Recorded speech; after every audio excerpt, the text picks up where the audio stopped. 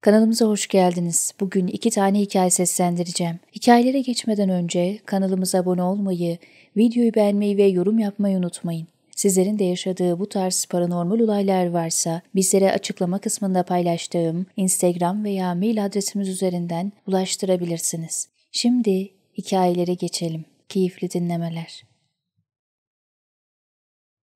İyi günler abla. Ben Ebrar. Yaşımı söylemek istemiyorum. İstanbul'da doğdum. Kısaca size ailemden bahsedeyim. Babam eskiden 15 yaşındayken teyzemi hamile bırakmış. Annem bu konuya ses çıkarmadığı için evlenmelerine göz yummuş. Babam teyzemi kuma getirmiş. Teyzemden de annemden de iki çocuğu var. Benim öz olarak sadece abim var. Diğer çocukları kız olan 22 yaşında, yeni nişanlandı. Küçük olana gerçekten çok üzülüyorum, o 10 yaşında.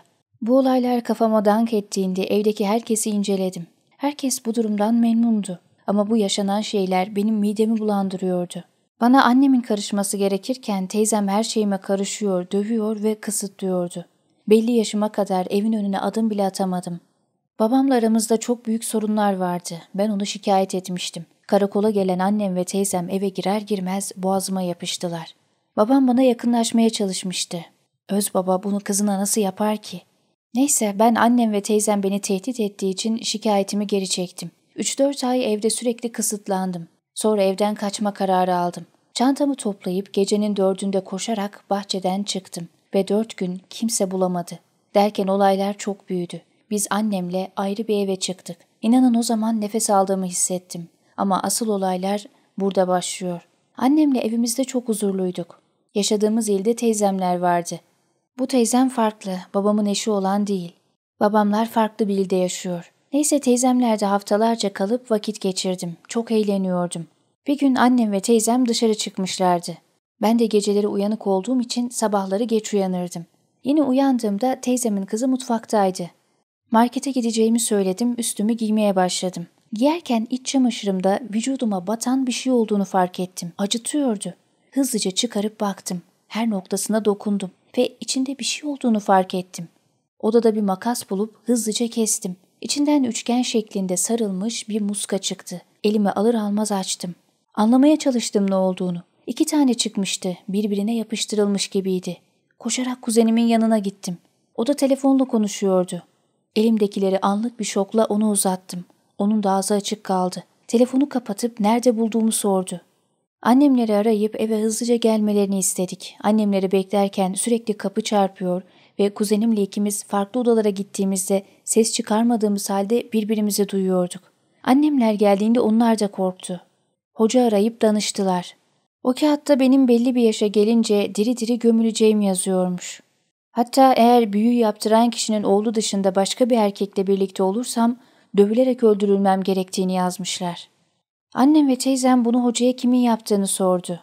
Hoca iki kadın ve bir erkek olduğunu söyledi. Daha fazla derine inemeyeceğini belirtip telefonu kapattı.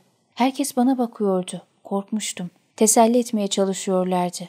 Sinirim bozulmuştu. Annem hemen abdest alıp dua okumamı istedi. Ben istemediğimi söyledim. Müslümandım, dinime bağlıydım. Ama annem söylediği andan itibaren yapmak istemedim. Annem ısrar edince de sinirden deliye döndüm. En sonunda başımdan sağmak için tamam dedim. Abdest alıyor gibi yaptım. Musluğu açıp suyu izledim. Yapamıyordum, dokunamıyordum suya. Çıktıktan sonra başörtü ve Yasin kitabını verip okumamı istediler. Daha da sinirlenmiştim. Alıp yere fırlatmam için vesvese veriliyordu. Vücudum sıkılıyordu. Nefes alamıyordum. Annemin dediği gibi odaya geçip oturdum. Okuyormuş gibi yaptım. Kitabı elimde zor tutuyordum. İnanın hiçbir şeyin kontrolü benim elimde değildi. Bu olayların üstünden 2-3 gün geçtikten sonra gece üç buçuk gibi odamın kapısı açıldı. Herhalde annem kontrol etmeye geldi dedim. Ama kapı aralığından biri bana bakıyordu. Nefesim kesilmişti. Korkudan ne yapacağımı şaşırmıştım. O şeyin nefes alma sesi odamda yankılanıyordu. Yavaş yavaş kapıyı daha da fazla açmaya başladı ve odaya girdi. Çok uzundu. Bana adeta kilitlenmişti. Benim korkudan kalbim duracaktı. Anneme seslenemedim. Aklıma hiçbir şey gelmedi. Ne dua okumak ne de yardım istemek. O varlık tam ayak ucuma gelip yere dümdüz uzandı. Kafasını havaya kaldırıp indirdiğini görüyordum. Ne yaptığı hakkında hiçbir fikrim yoktu. On dakika sonra kalkıp annemlerin olduğu odaya gitti sürünerek. ve oradan çıktığını görmedim. O arada da uyuyakalmışım. İki üç hafta sonra her şey normal ilerlerken kuzenimle akşam yürüyüşe çıkalım dedik. Bayağı bir dolaştıktan sonra da eve geldik. Yol boyu belime bir şey batmıştı. Anneme yaklaşıp anne şu eşofmana bir baksana belim çok acıyor dedim. O da hem televizyon izliyor hem de eşofmanımla uğraşıyordu. Sonra elleri titremeye başladı. O an anladım yine muska bulduğumuzu. Annemin de siniri bozulmuştu. Teyzemler de oradaydı. Hepsi şok içindeydi. Yine dua okumamı istediler. Onlar dua okuduğumu zannediyordu. Annem elinde bir bardak suyla geldi. Duayı okuyup ona üflememi, sonra da içmemi söyledi. Ben de annem gider gitmez üflemeden suyun tamamını içip içeri girdim. Bu böyle bir süre daha devam etti. Bulduğumuz muskaları hocalar akarsuya atmamızı söylüyordu ve o işi annemler hallediyordu. Sonra teyzemlerle bağlantımız kesildi, çok konuşmamaya başladık. Ben kendi evimizde makyaj masamda, tekrardan iç çamaşırımda, hatta çantamın içinde bile birçok kez muska buldum.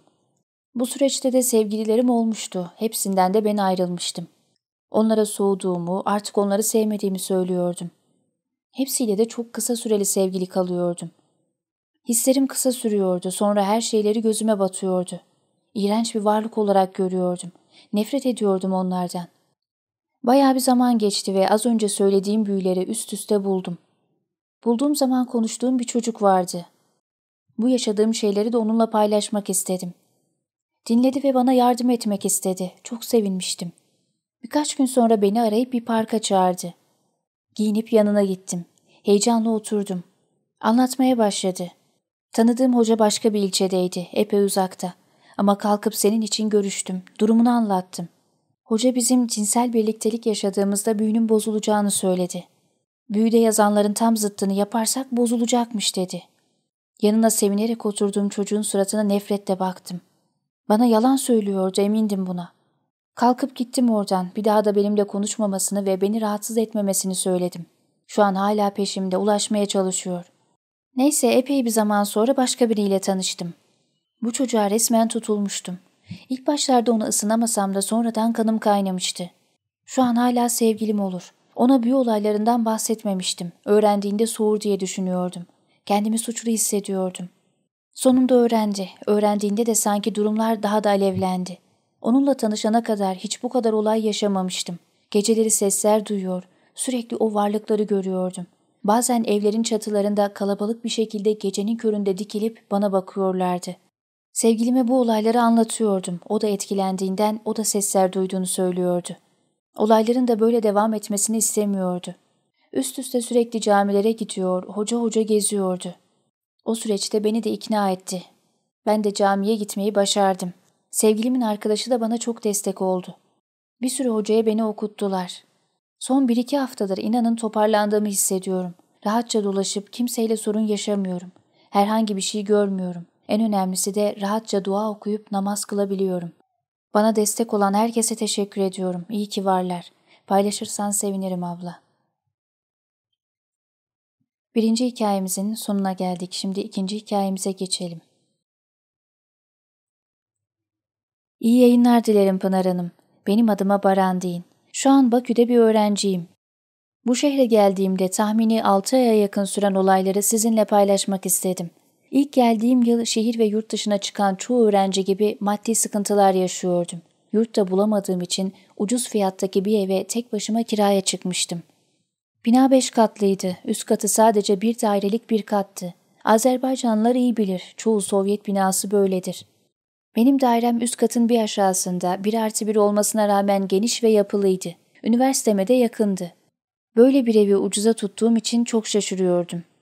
Evdeki ilk haftalarımda beni taşındırtacak kadar sorun olmasa da bazı şeyler oluyordu. Mesela gece bazen kapımın tıklatılmasıyla uyanıyordum. Gidip baktığımda apartmanın ışığının bile yanmadığını görüyordum. Odamda ders çalışırken mutfaktan annemin sesini duyuyordum.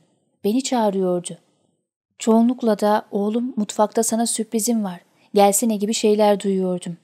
Ben bu sesleri aile hayatını geride bırakıp yalnız kalmama, derslerin stresine ve gurbet özlemine beynimin psikolojik tepkisi olarak yorumluyordum. Zaman geçtikçe annemin sesini duymam azalsa bile gece vakti yukarı kattan bir çocuğun koşma sesi ve bir kadının bağırma sesini duyuyordum. Bu o kadar şiddetliydi ki korkudan o kata çıkıp şikayet etmeye cesaret edemiyordum. Bu durumu komşularıma sormaya karar verdim. Ertesi gün hangi kapıyı çaldıysam sadece üç daire açtı kapıyı. İkisi bir şey bilmediğini söylerken yan dairemde kalan bir teyze bana o sesleri duymadığını söyledi. Bu durumu sormamdan rahatsız olduğu belliydi. Bana sakın yukarıya gidip o kapıyı çalma. Gece vakti kapın çalınırsa da hiç açma. Git uyu dedi ve kapattı yüzüme. Ben bu olayları paranormal olarak düşünmüyordum.